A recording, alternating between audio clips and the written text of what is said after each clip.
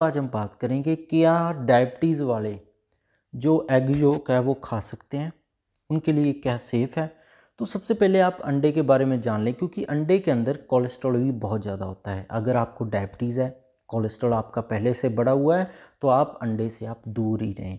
क्योंकि एक अंडे के अंदर लगभग 200 मिलीग्राम के करीब है वो जो कोलेस्ट्रॉल होता है। तो अगर आप डेली डाइट में अंडा ही अंडा लेते जा रहे हैं तो आपकी सेहत को नुकसान हो सकता है, क्योंकि डायबिटीज़ वालों का कोलेस्ट्रॉल बहुत ज़्यादा बढ़ता है। कोलेस्ट्रॉल उनका ज़्यादा बढ़ेगा तो उनको जो हार्ट की समस्याएँ हैं, ये ज़्यादा आएँगी और उनकी हार्ट ब्लॉक भी हो सकता है, नस बंद भी हो सकती है। तो एग के अंदर आप बहुत ही ध्यान से आपने चलना है। इसके अंदर दो पार्ट होते हैं एग के अंदर एक एग वाइट है, एक एग येलो पार्ट है, जिसको हम एग योक बोल देते हैं। एग योक के अंदर ये 200 मिलीग्राम के करीब लगभग कोलेस्ट्रॉल होता है। तो एग योक है, बहुत ज़्यादा आपके लिए ख़तरनाक हो सकता है। इसलिए एग वाइट खाएँ आप तो सबसे बढ़िया है। एग के अंदर अगर आप पूरा खाते हैं तो आपको बायोटीन मिलता है कोलिन मिलता है पोटाशियम मिलता है विटामिन ए मिलता है।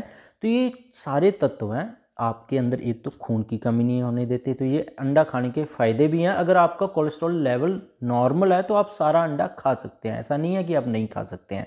कोलेस्ट्रॉल नॉर्मल है तो आप खा सकते हैं। तो इसके अंदर ये सारे तत्व हैं। आपकी हड्डियों को अच्छा रखेंगे। डायबिटीज़ के साइड इफ़ेक्ट वो आपके दिमाग के ऊपर नहीं आने देंगे। आपकी फ़िज़िकल फिटनेस को बनाए रखेंगे और एक बहुत ही बढ़िया न्यूट्रिशन है। तो आप एग योक और एग वाइट दोनों खा सकते हैं, पीला पदार्थ भी और जो वाइट वाला हिस्सा है, सफ़ेद है, वो भी आप खा सकते हैं। अंडे को उबाल कर खाएँ तो सबसे ज़्यादा बढ़िया रहेगा आपके लिए। अब बात करते हैं कि डायबिटीज़ वालों को जिनको कोलेस्ट्रॉल बढ़ा हुआ है, वो कौन सा पार्ट खाएँ? वो एग का वाइट पार्ट खाएँ तो उससे उनको न्यूट्रिशन भी मिल जाएगा और उनका कोलेस्ट्रॉल जो बढ़ा हुआ है और भी ज़्यादा नहीं बढ़ेगा। तो उनके कोलेस्ट्रॉल के ऊपर और सेहत के ऊपर ज़्यादा प्रभाव नहीं पड़ेगा। हफ़्ते में आप जो रिसर्च हुई है, उसके अंदर पाया गया है कि आप सात से बारह अंडे तक हफ़्ते में उबले हुए, जो आपको ज़रूरी नहीं है कि हर किसी को अंडा खाना ही खाना है। तो ये उनके लिए है कि जो नॉन वेजिटेरियन है, अंडा खा रहे हैं, कि वो जानना चाहते हैं कि अंडे का कौन सा हिस्सा खाना चाहिए। कितना अंडा हफ़्ते के अंदर खाना चाहिए? तो ये वीडियो उनके लिए है। जो वेजिटेरियन है, उनके लिए अंडा खाना कोई कंपलसरी नहीं है कि अंडा खाएँगे तभी आपकी जान बचेंगी।